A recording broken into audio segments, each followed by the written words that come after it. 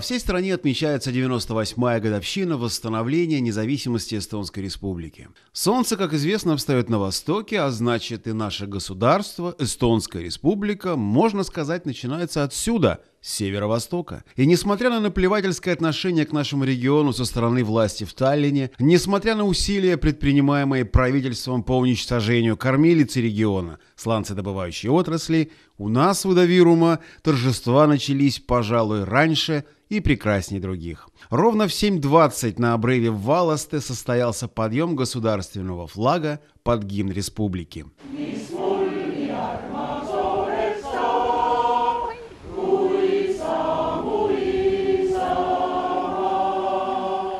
Перед собравшимися держали речь Ам Росман и святой отец Петр Кальдор. На лицах людей, приехавших сюда в столь раннее время вместе с детьми, явно читалось воодушевление и радость.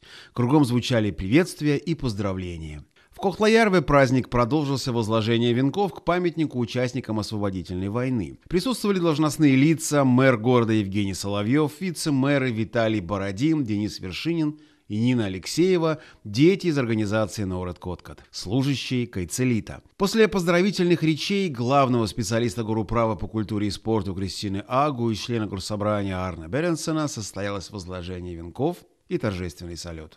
Празднование годовщины республики в Ихве получилось наиболее торжественным и официальным. Проходило оно также возле памятника участникам освободительной войны, куда пришли представители вооруженных сил, департамента полиции и погранохраны, спасательного департамента, Кыцелита, вирусской тюрьмы – Норет Коткат. Настоятель церкви святого Михаила Петр Кальдур сказал напутственные слова, а волосной старейшина Айвер Сурва в своей речи подчеркнул, что именно благодаря победе в освободительной войне мы сегодня свободны и независимы. После чего были возложены многочисленные венки от различных учреждений волости. Ну и по традиции закончились торжественные мероприятия Водовирума, где начинается наше государство, возложение венков к памятнику генерала Теннисона на площади города Ихви.